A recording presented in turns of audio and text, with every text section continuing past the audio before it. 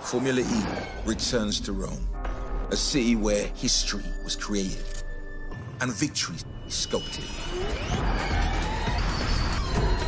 24 legendary drivers do battle in the Eternal City. Who has the power to conquer Rome? This is Rome Electric.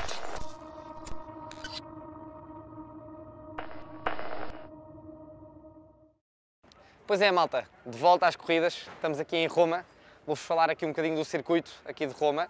Ahm, mudou um bocadinho desde a última vez que estivemos aqui. As últimas três curvas e as primeiras três são iguais, ou seja, esta parte aqui do pit lane, da, da, da, da- linha de chegada é igual, mas o resto da pista mudou um bocadinho.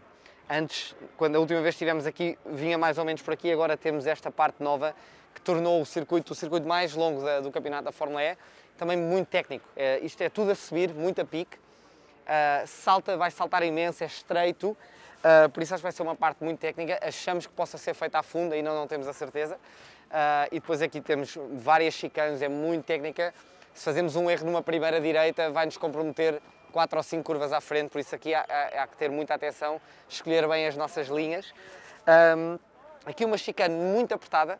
Uh, na primeira volta vamos chegar aqui 24 carros muito perto.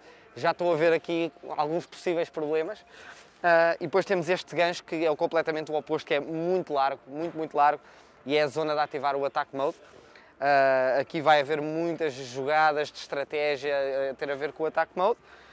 Uh, e pronto, acho que estou- estamos bem, a equipa está está bem, estamos motivados, carro novo esta corrida.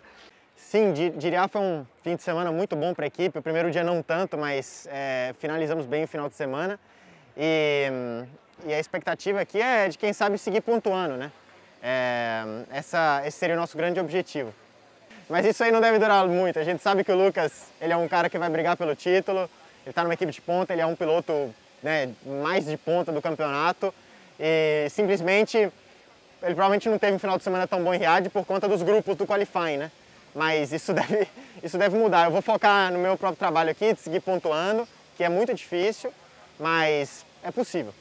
É, ainda não se sabe quando o nosso novo carro vai chegar. Esse, esse é o mesmo carro que a gente começou a temporada de fato. A expectativa é de que antes de Mônaco a gente possa ter um carro novo.